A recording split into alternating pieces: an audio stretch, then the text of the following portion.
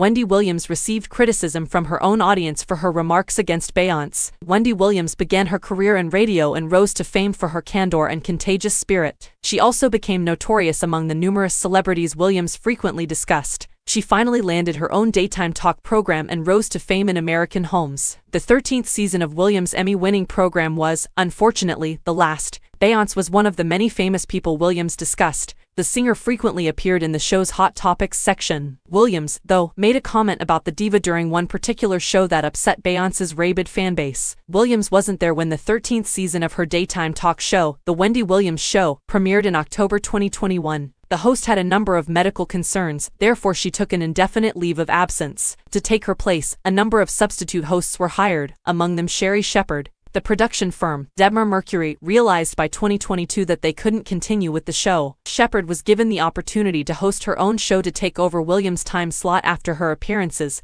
as a guest host were so warmly received. Later, it was revealed that Shepherd's show Sherri would debut in the autumn, and Williams' show will air its final episode at the conclusion of its 13th season. Williams admitted to disliking her show's concluding episode to the New York Post. She claimed that the production firm had not requested her presence when the media outlet questioned her about why she hadn't shown up. I didn't do that because Debmar Mercury didn't request that of me. I watched it while sitting in my apartment, and I exclaimed, Eek. She spoke. Williams also expressed to the publication her opinion that she ought to have hosted her final program rather than the other guest hosts. But when Fat Joe and Remy Ma co-hosted, she made an exception. Joe is Williams' favorite, she claimed. When Wendy Williams launched The Wendy Williams Show in 2008, her famed style of celebrity analysis had already become a mainstay on American televisions. Over the years, Williams welcomed a ton of famous people as guests on her program. There were numerous instances, though, in which she would enrage a celebrity's following or even the celebrities themselves. Williams discussed Beyonce and a documentary the singer was planning to release on HBO in 2012.